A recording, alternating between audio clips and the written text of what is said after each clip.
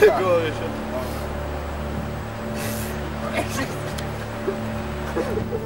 Bare lukk øynene og pust. Det er iallfall godt.